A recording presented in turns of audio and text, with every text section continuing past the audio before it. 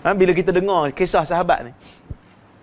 Kan terlibat dalam perang tu, terlibat dalam perang ni. Tuan-tuan gamak tak agak-agak nak kapirkan dia? Tak gamak eh? Dia riwayat seribu lebih hadis. Tuan-tuan gamak tak nak nak kapirkan dia? Tak gamak, tapi Syiah kapirkan dia. Syiah kapirkan sahabat yang macam ni. Kalau dia ni kafir, seribu hadis yang dia riwayat lenyap. Kerana riwayat orang kafir tak boleh pakai. Sebab tu orang tanya, pasal apa orang mengaji hadis ni sangat sensitif dengan syiah? Sebab ni, kita baca hadis, kita lalu nama sahabat. Sebab tu kita tak boleh terima kalau ada orang yang kata, ah syiah ni kita jangan bergaduh sangat lah. Dia ni mazhab je dalam Islam.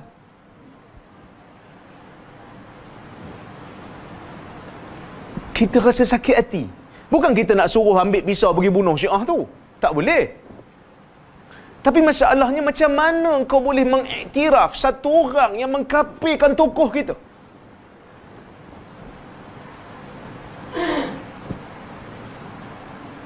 Kawan yang beza politik, kita halau dia.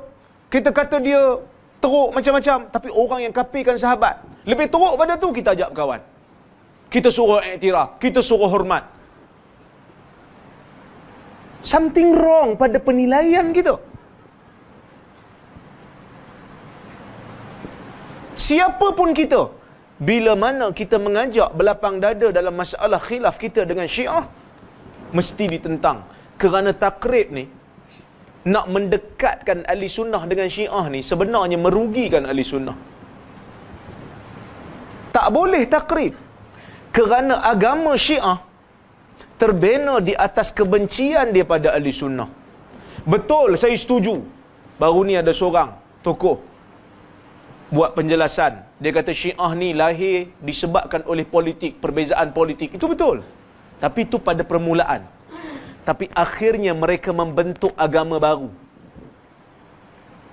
Pada permulaan perbezaan kita dengan Syiah ni bab politik saja. Dia tak setuju dilantik Abu Bakar, tak setuju dilantik Umar. Dia kata patutnya Ali dilantik dulu. Tapi akhirnya mereka membentuk mazhab mereka membentuk agama yang mana hadis kita tak pakai. Sebab apa? Pada mereka, sahabat majoriti kafir. Bila kafir, riwayat tak boleh pakai. Maka mereka pakai riwayat mereka. Ada kitab hadis mereka. Mereka tak pakai Bukhari. Mereka tak pakai Muslim. Mereka ada kitab hadis mereka sendiri. Semua datang daripada jalur imam-imam mereka. Kita tak kenal syiah. Tiba-tiba kita dengar satu orang tokoh yang digelar sebagai ulama cerita kat umat tentang oh syiah ni tak apa tak bahaya. Oi. Pening kepala kita. Tuan-tuan al-majlisi dalam kitab dalam kitab dia saya tak ingat dalam Mir- Mir'atul Uqul ataupun Biharul Anwar dia bawa satu riwayat dalam Syiah yang dianggap sebagai mutawatir Maksudnya mutawatir di sisi Syiah. Mutawatir ni stand, stand, sama standard macam Quran. Dia kata ayat Quran sebenarnya ada 17 ribu daripada apa yang ada sekarang. Sekarang berapa ribu? 6 ribu lebih. Maksudnya pada Syiah Quran kita ni yang ada pada kita telah diselewengkan oleh sahabat. Tuan-tuan boleh terima? Usahkan kata hadis hadis kita mereka tolak. Quran pun mereka mula pertikaikan. Agak-agak nak lapang dia. Tak, saya tak suruh tuan-tuan pergi jumpa orang Syiah bunuh. Tak, tak, tak. No.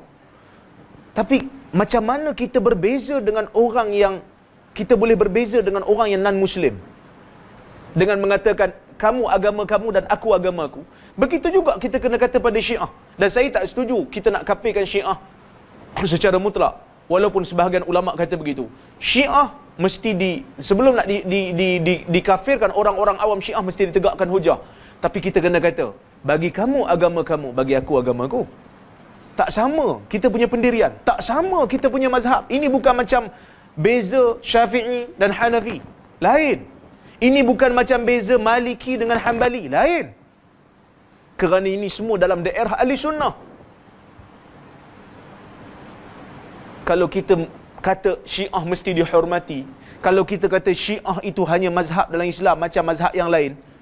Tuan-tuan, lepas ni kita akan tengok orang mut'ah dalam negara kita.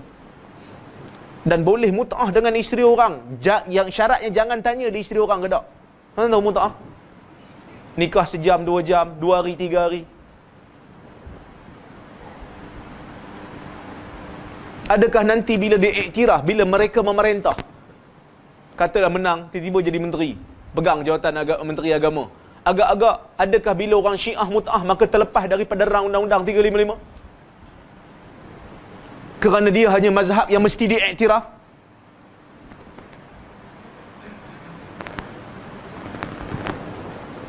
Maka fikir-fikirkan tuan-tuan. Sebab tu, sebahagian daripada asatizah kita, tak berhenti nak bagi tahu pada umat jangan ter, terpedaya dengan benda ni. Jangan terpedaya dengan benda ni. Ini permainan permainan Syiah. Kononnya nak dekatkan kita.